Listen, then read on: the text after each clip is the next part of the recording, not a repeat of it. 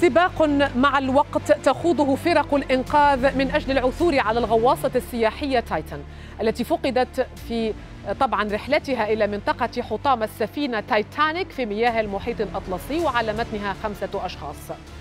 على الرغم من ترجيح نفاذ الأكسجين داخل الغواصة إلا أن عملية البحث لا تزال مستمرة أملا في العثور عليها خاصة بعد تقارير عن سماع ضوضاء تحت سطح البحر في منطقة قريبة من نطاق البحث. ما الذي حدث لهذه الغواصة؟ وماذا عن مصير ركابها؟ معنا من الإسكندرية في مصر مدير الكلية البحرية السابق اللواء محفوظ طه مرزوق. مساء الخير سعادة اللواء محفوظ طه مرزوق. يا ترى لماذا وعلى الرغم من كل أسطول الإنقاذ الذي تم توظيفه منذ أيام طائرات وسفن إلا أنهم فشلوا لغاية اللحظة في الوصول إلى مكان هذه الغواصة. مبدئيا أنا بشكر حضرتك على هذا السؤال وطبعا عشان نفهم أساسا يعني الاستراكشر بتاع البحث بيتم إزاي بيتم أصلا طبقا لآخر موقع معلوم للهدف اللي هو المفقود.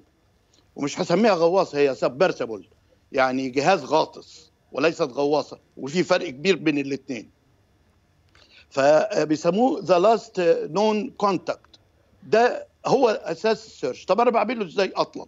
أصلا لا في GPS في الغواصة ولا في حضرتك communication في الغواصة حضرتك. نتيجة لأن أصلا ما فيش انتشار للموجات الصوت الكهرومغناطيسية في المية لغاية عمق 20 أو 30 متر وطبقا طبعا لطول الموجة. بتبقى عايزين طول موجة كبيرة جدا ده غير متوفر. طب امال هو أصلا بيحددوا إزاي؟ هو بيحدد ال ال المكان بتاع الغواصة حددتها السفينة الأم بمنظومة اسمها ultra short acoustic system ultra صغير جدا. يعني موجة قصيرة جدا وبالتالي مداها جامد جدا مداها قليل قوي. هذا المدى بيبعت للغواصة الغواصة فيها مجيب تحت بيروح باعت إشارات المسافة مم. اللي بتوصل فيها الإشارات دي كمبيوتر بيحللها زمن في سرعة انتشار موجات صوتية تحت المية يحدد الموقع وده لو وده طلع خارج وده مش موجود يعني ده مش موجود لهذا ده مش الجهاز ده الغاطس ده على فكرة أنت قلت فكرة جديدة إنه دي مش غواصة دي جهاز غاطس أيوة. الفرق بيناتهم إيه يا أيوة. أستاذ مرزوق لا الفرق كبير جدا ويمكن أضيع الحلقة أصلا ده آه. ما فيهوش نظام لل ballast خدت بال حضرتك يطلع وينزل ما فيهوش تحكم ما فيش power ده فيه آه. أصلا رفاصات صغيرة كده واخدة بال حضرتك للتوجيه بس اسمها bow thrusters واخدة بال حضرتك. وما بتمشيش إلا ثلاثة عقدة يعني شوية تيار. مثلا في في المحيط تيارات توصل أربعة خمسة عقدة تاخدها تسحبها في الاتجاه العكسي ترميها في حتة تانية. ياه. أو ترميها. لأعماق أكتر. آه طبعا. أو آه. ترميها أصلا على الحطام. فتتعلق في حاجة في الحطام احتمالات كتير مم. فده أصلا اسمها submersible مفيش غواصة خالص it is. not submarine ده. مبدئيا طيب فأنا معلش طيب خليني برايك يا أستاذ. مرزوق أستاذ مرزوق فقط نريد أن نستفيد من. خبرتك برأيك ما الخطأ الذي حدث لدرجة أنه فقدت هذه الغواصة لا أخطاء كتير ممكن إنها تحصل إنها تفقد ولكن اللي أنا اللي إحنا شايفينه لأن حتى البيانات من الممكن يكون الموقع غلط أصلا وبالتالي ال structure أو ال data من اللي اتبنى عليه مخطط البحث كله ده يبقى هو طبعا بيعملوا حاجة اسمها خطأ موقع ومتوسط مربع خطأ وحاجات زي كده بس بيكبر المساحة جدا.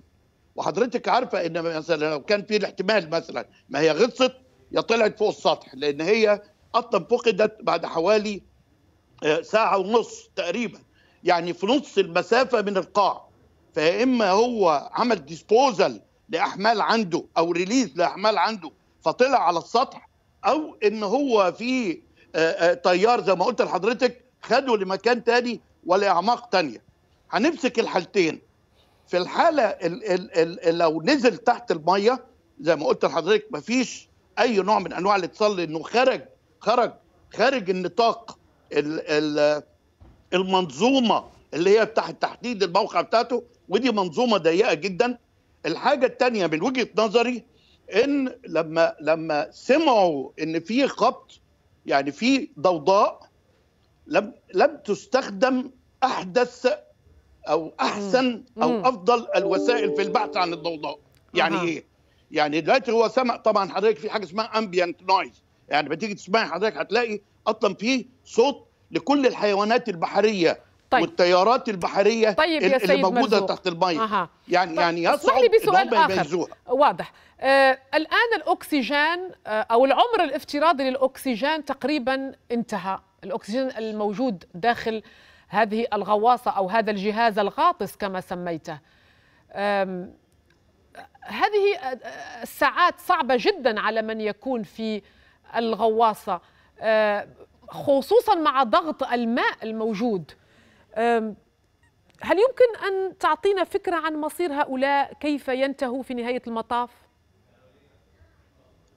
ما حدش يقدر يقول لحضرتك طبعا بصير هو طبعا هم أصلا ناس محترفين يعني. ما دام محترف يبقى هيقللوا الحركة جدا المفروض وهيقللوا معدلات استهلاك الأكسجين جدا. واحتمال إن يكون حد فيهم الأكبر سنا أو الأكثر تعبا اللي صحته أضعف يكون مات فوفر أكسجين وقلل انبعاث لأول أكسيد الكربون في نفس الوقت. فبالتالي الميعاد اللي هو نظريا قلنا إنه انتهى ممكن يكون لسه ما انتهاش. ده واحد.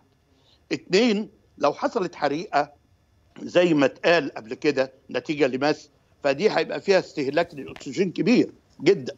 خلاص؟ فمن الممكن جدا إن حتى الزمن ده برضه يقل طبقا للاحتمالات أنا بس عايز أوضح نقطة معينة. إن أول ما سمعوا الصوت ده فرموا عوامات صوتية. العوامات الصوتية ما بتجيبش مسافه دي تجيب اتجاه بس. فبالتالي هيضطر يدي عوامات صوتية أقل وما يقدرش يعمل resolution لل ambient noise اللي بقول لسيادتك عليه. لكن أمريكا عندها كيبل مقطور خلاص اسمه يعني يعني array cable hydrophone array خلاص. ده من زمان من أيام الحرب الباردة. واخده بال حضرتك؟ ده بيتقطر ده بقى مداه قد ال hydrophone اللي استخدم ده أو ال hull mounted نعم. مثلا بتاع 8 مرات أو شكراً. 10 مرات. آه فبالتالي يغطي مساحات أكبر. بالإضافة إلى إن في حاجة اسمها ال signal to noise ratio اللي هو عشان أميز الصوت المحدد من ضمن أصوات نعم يا المحيط. أستاذ أنت مرزوق عارفة الحيتان؟ الحيتان لما تخبط في بعضها يعملوا برضه الصوت ده. واخدة بال يا حضرتك. صعب ده صعب عشان يقدر الوضع صعب. يميزه؟ آه آه. يعني هذا عالم واخدة بال- محيطات آه، عالم آه، آه، يعني عالم- عالم يتجاوز آه، يتجاوز حتى يعني التكنولوجيا أنا كما نرى. أنا شكرا ليك يا ليه أستاذ ما طلعوش؟ آه.